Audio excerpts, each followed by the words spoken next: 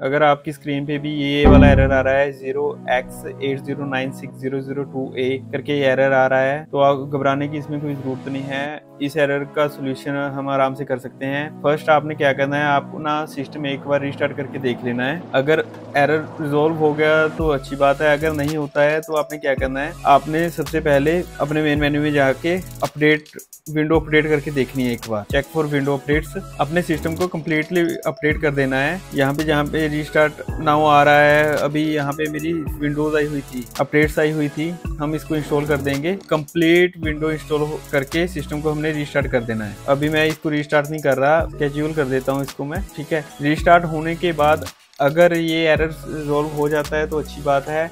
नहीं इसका last option जो है हमारे पास तो वो है इसकी विंडोज़ की जो है कमा, कमांड के थ्रू हम विंडो को इसकी सर्विसेज़ हैं जो उसको रिस्टार्ट करेंगे। विंडो कमांड की सर्विसेज़ रिस्टार्ट करने के लिए हम सबसे पहले आपने विंडो की प्रेस करके सीएमडी कर देना है और इसको रन एज एडमिनिस्ट्रेटर आपने रन करना है। यस कर देना है। सबसे पहले आपने इसकी जो सर्विसेज़ चल रही हैं, उस, उनको स्टॉप करना है। फ़र्स्ट कमांड है N E T S T O P stop B I T S इस कमांड को आपने करना है the background intelligence services not started ठीक है? उसके बाद आपने एक और सर्विस है, उसको भी स्टॉप कर देना है W U A U S E R V ये सर्विस है, इसको स्टॉप कर देना है। एक और, ये चार, तीन चार सर्विसेज़ हैं जो आपने स्टॉप करनी है। फिर आपने N E T stop A P P I D S V C ये सर्विस आपने स्टॉप कर देनी है। अब एक और सर्विस रह गई है, जो स्टॉप करनी है। N A T S T O P C R I P T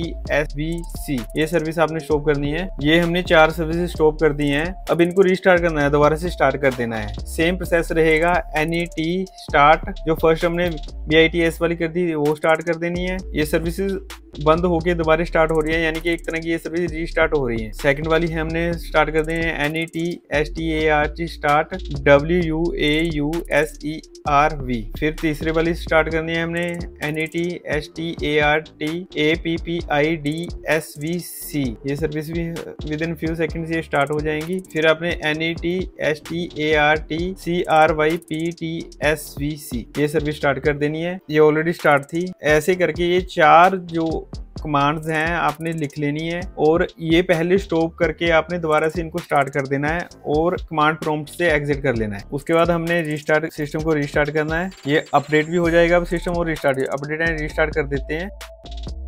ये आप देख सकते हैं, हमारा सिस्टम रिस्टार्ट हो चुका है और यहाँ पे कोई भी एरर नहीं आ रहा अभी। अगर आपके भी सिस्टम में ये एरर आता है तो आपने ये तीन स्टेप्स करके देखने हैं। फ़र्स्ट एक बार सिस्टम रिस्टार्ट कर लेना है। सेकंड में आपने विंडो को अपडेट करना है और फिर भी अगर प्रॉब्लम सोल्व ना हो तो जो मैंने आपको चार कमांड्स बताई हैं, वो आपने कमांड्स लगानी है। इनकी, ये विंडोज़ की सर्विसेज़ हैं चार। उनको स्टॉप करके दोबारा से स्टार्ट कर देना है। जिससे आपका जो ये एरर आ रहा था, वो दोबारा से नहीं आएगा। तो आज की वीडियो में इतना ही। मिलते हैं आपसे नेक्स्ट वीडियो में। Thank you